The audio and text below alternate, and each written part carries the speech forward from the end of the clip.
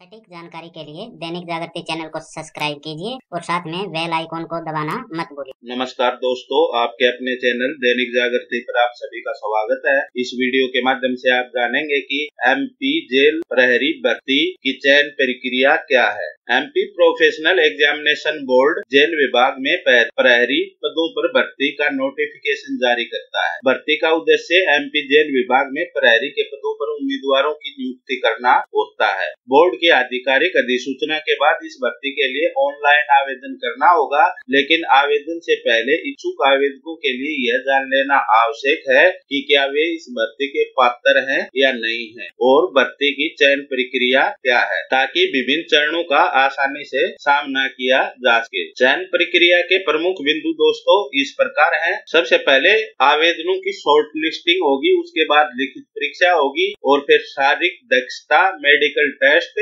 और अंतिम चरण रहेगा नियुक्ति। इस भर्ती की प्रक्रिया में सबसे पहले दोस्तों बात आती है महत्वपूर्ण तिथियाँ, यानी कि विभिन्न चरणों की जो तिथियाँ हैं, उनकी जानकारी आप कहाँ से प्राप्त करें। तिथियों की स्थायी जानकारी के लिए आपको आवेदन से लेकर परिणाम तक मध्य प्रदेश व्यवसायिक परीक्षा बोर्ड की आधिकारिक website PEB dot M P dot G O V dot in पर नज़र रखनी चाहिए ताकि किसी भी जोखिम की संभावना से बचा जा सके, क्योंकि बोर्ड तिथियों में फेरबदल का अधिकार रखता है। अगला चरण है पात्रता मानदंड, यानी कि उम्मीदवार की नागरिकता क्या होनी चाहिए, उसकी आयु सीमा कितनी होनी चाहिए और शैक्षणिक योग्यता। सबसे पहले हम बात करते हैं नागरिकता की। एक उम्मीदवार को या तो भारत का नागरिक होना चाहिए या सिक्किम की प्रजा होना चाहिए। या भारतीय मूल का कोई ऐसा व्यक्ति होना चाहिए जो भारत में स्थायी रूप से बसने के अभिप्राय से पाकिस्तान से आया हो, या फिर नेपाल की या भारत स्थित किसी पुर्तगाली या फ्रांसीसी प्रदेश की प्रजा होना चाहिए। और उपरोक्त से संबंधित दस्तावेज़ प्रस्तुत करना आवश्यक है। अगला विषय है आयु सीमा। अभ्यर्थी की आयु सीमा की गणना भर्ती की चालू वर्ष की एक जनवरी यानी वर्तमान वर्ष को 18 वर्ष से कम एवं 33 वर्ष से अधिक नहीं होनी चाहिए। अगला विषय है शैक्षणिक योग्यता। आवेदक को 10 प्लस टू प्रणाली के अधीन कम से कम हाई स्कूल परीक्षा उत्तीर्ण या फिर पुरानी प्रणाली से हायर सेकेंडरी परीक्षा उत्तीर्ण करना चाहिए। पात्रता मानदंड का अगला चरण है शारीरिक मानदंड। एमपी जेल प्रहरी भर्ती के इच्छुक उम्मीदवारों के लिए शारीरिक मानदंड इस प्रकार है। पुरुष अभ्यर्थी के लिए एक सेंटीमीटर ऊंचाई होनी चाहिए और बिना सीना फुलाए तिरासी सेंटीमीटर होना चाहिए। महिला अभ्यर्थियों के लिए एक सौ अट्ठावन सेंटीमीटर ऊंचाई होनी चाहिए। और पात्रता मानदंड पर हम पहले ही एक वीडियो बना चुके जिसमें विस्तृत जानकारी दी गई है तो अधिक जानकारी के लिए आप उसको अपना माध्यम बना सकते हैं। अगला चरण है आवेदन आवेदन कैसे करें? दोस्तों, जब भी बोर्ड द्वारा इस भर्ती की घोषणा की जाती है तो सबसे पहला चरण रहता है, आप आवेदन कैसे करें? सबसे पहले व्यापम की आधिकारिक वेबसाइट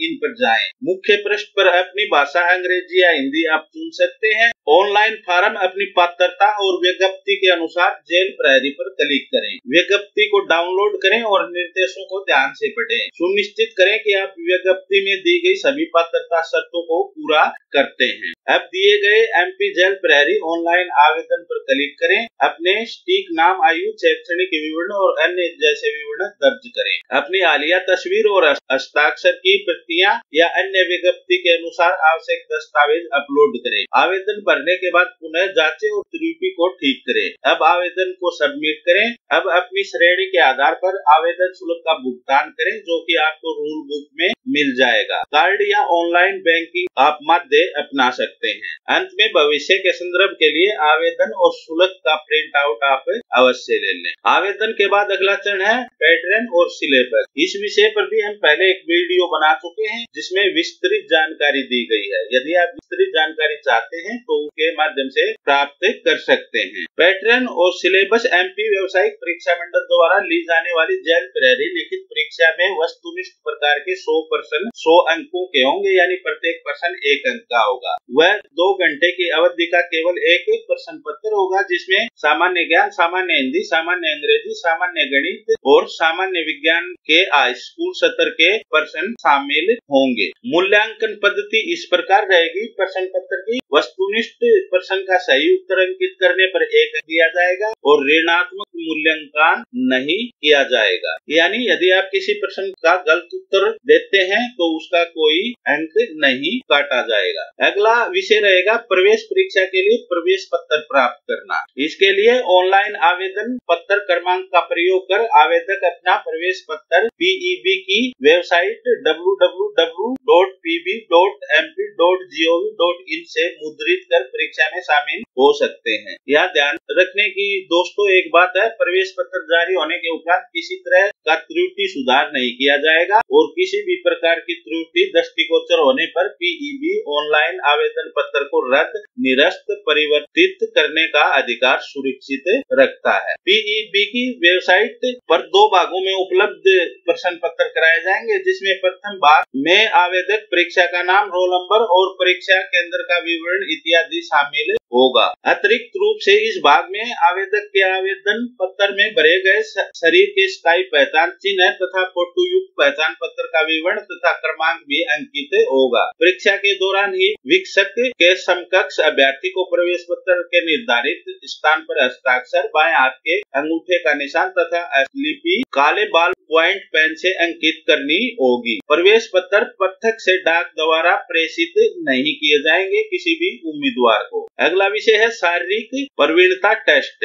एमपी जेल प्रहरी पद के लिए समिति द्वारा शारीरिक नाप जोख में उपयुक्त पाए गए उम्मीदवारों का शारीरिक प्रवीणता टेस्ट लिया जाएगा, जो इस प्रकार होगा। सबसे पहले 800 मीटर की दौड़, पुरुषों के लिए दो मिनट पचास सेकंड, महिलाओं के लिए चार मिनट और भूतपूर्व सैनिक और होमगार्ड के लिए तीन मिनट पंद्रह सेकंड इसके लिए दिए जाएँगे। दौड़ के बाद गोला फेंक, पुरुषों के लिए बीस फीट, गोले का वज़न सात पॉइंट दो छह ज़ीरो किलोग्राम। महिलाओं के लिए सोलह फीट गोला फेंकना होगा, गोले का वज़न रहेगा चार किलोग्राम। और भूतपूर्व सैनिक और होमगार्ड के लिए पंद्रह फीट और गोले का वज़न रहेगा सात पॉइंट दो छह ज़ीरो किलोग्राम। और यहाँ पर ध्यान देने वाली बात यह है, दोस्तों, यदि दौड़ में क्वालिफाई कोई उम्मीदवार नहीं करता है तो उससे गोला फेंकने में भाग लेने नहीं दिया जाएगा। और शारीरिक प्रवीणता परीक्षा केवल क्वालिफाइंग स्वरूप में होगी। इसमें कोई पूर्णांक प्राप्तांक नहीं होंगे। परीक्षा परिणाम से उम्मीदवार को तुरंत मौके पर ही अवगत करा दिया जाएगा। शारीरिक नापजोक एवं प्रवीणता परीक्षा का वीडियो रिकॉर्ड किया जाएगा। आपने नापजोक प्रदर्शन मूल्यांकन से असंतुष्ट रहने पर चयन समिति के समकक्ष तत्काल अपील की जाएगी, जो उसका वीडियो कवरेज देखकर निराकरण करेगी। किसी भी स्थिति में उम्मीदवार को दूसरी बार अवसर प्रदान नहीं किया जाएगा। शारीरिक प्रवीणता टेस्ट के लिए उम्मीदवार को स्वास्थ्य अथवा किसी भी अन्य आधार पर परीक्षा से छूट नहीं दी जा सकेगी और न ही उसके लिए किसी प्रकार का चिकित्सीय प्रमाण पत्र स्वीकार किया जाएगा। अगला विषय रहेगा चयन सूची। एमपी प्रहरी भर्ती के लिए जेल मुख्यालय सतर पर गठित समिति द्वारा द्वितीय चरण में शारीरिक नापजोक व शारीरिक प्रवीणता टेस्ट की कार्रवाई संपन्न करने के उपरांत इसमें सफल उम्मीदवारों की सूची व्यापक को उपलब्ध कराई जाएगी। शारीरिक नाप जोख व शारीरिक प्रवीणता टेस्ट में सफल अभ्यर्थियों को जेल मुख्यालय द्वारा उपलब्ध कराई गई सूची के आधार पर लिखित परीक्षा में प्राप्त अंकों के आधार पर प्रवीणीय प्रतीक्षा सूची मध्य प्रदेश व्यवसायिक परीक्षा मंडल द्वारा जारी की जाएगी। और अगला विषय रहेगा पारस्परिक वीरियता। बहुत ही मुख्य है दोस्तों, अंतिम पूर्ण सूची तैयार करते समय समान अंक प्राप्त करने वाले अभ्यर्थियों की आयु के आधार पर आपसी सह वरिष्ठता निर्धारित की जाएगी, अर्थात आयु में वरिष्ठ अभ्यर्थी को वरीयता दी जाएगी। अब बात आती है परीक्षा परिणाम की प्रक्रिया की। परीक्षा परिणाम घोषित होने के पूर्व पीईबी की वेबसाइट पर परीक्षा परिणाम के साथ साथ विषयवार, आदर्श, उत्तर पूंजी अभ्यर्थियों की सुविधा के लिए उपलब्ध होगी। नियम पुस्तिका के अध्यायों में उल्लेखित नियमों के आधार पर पीईबी द्वारा अभ्यर्थी को प्रवीणीय सूची तैयार की जाएगी। संबंधित विभाग की अनुशंसा निर्देश उपरांत परीक्षा परिणाम प्रोफेशनल एग्जामिनेशन बोर्ड, भोपाल की वेबसाइट www.peb.mp.gov.in पर उपलब्ध कराए जाएँगे। विभाग विभागों को भेजी जाने वाली मेरिट लिस्ट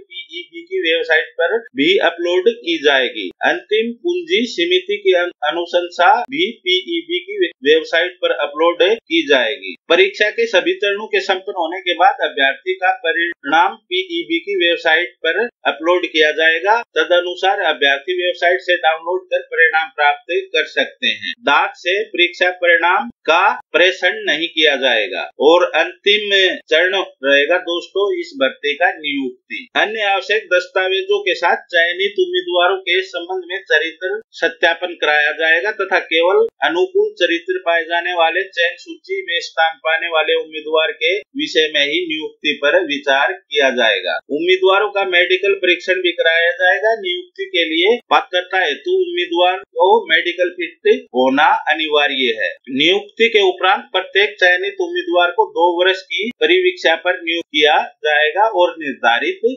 प्रशिक्षण पर भेजा जाएगा। प्रशिक्षण संस्थान में उपस्थित होने पर प्रशिक्षण में प्रवेश के पूर्व उसका स्वास्थ्य परीक्षण कराया जाएगा, जिसमें उससे पूर्ण रूप से स्वस्थ होना आवश्यक होगा। केवल योग्य पाए जाने वाले उम्मीदवारों को ही नियुक्ति दी जाएगी, अयोग्य उम्मीदवारों को वापिस भेज दिया जाएगा। तो ये तो थी दोस्तों, एमपी जेल प्रहरी भर्ती की प्रक्रिया। यदि आपको जानकारी अच्छी लगे तो वीडियो को लाइक और शेयर करना आप बिल्कुल भी मत भूलिएगा। और इस भर्ती से जुड़ी अलग अलग जानकारियों के लिए हम अलग अलग वीडियो बना चुके हैं। उसके माध्यम से भी आप जानकारी प्राप्त कर सकते हैं। जैसे इस भर्ती का विस्तृत पात्रता मानदंड क्या है और इस भर्ती से का विस्तृत पैटर्न और सिलेबस क्या है तो उनके माध्यम से भी आप जानकारी प्राप्त कर सकते हैं। और अन्य जानकारियों के लिए आप दैनिक जागृति चैनल की ऑफिशियल वेबसाइट दैनिक जागृति डॉट कॉम पर आकर अच्छे से आप पढ़कर प्राप्त कर सकते हैं। और इस भर्ती से जुड़ी अन्य जानकारियों के लिए आप दैनिक जागृति चैनल की ऑफिशियल वेबसाइट पर आकर भी पढ़ सकते हैं। और यदि आपने हमारा यूट्यूब चैनल सब्सक्राइब नहीं किया है तो आप सभी से विनम्र निवेदन है, इसको सब्सक्राइब कर लीजिए ताकि आपको समय समय पर करियर और शिक्षा से संबंधित जानकारियाँ प्राप्त होती रहे। इस वीडियो में बस इतना ही। अगले वीडियो में हम एक और नई जानकारी के साथ उपस्थित होंगे। तब तक के लिए आप सभी का धन्यवाद। जय हिंद, जय भारत।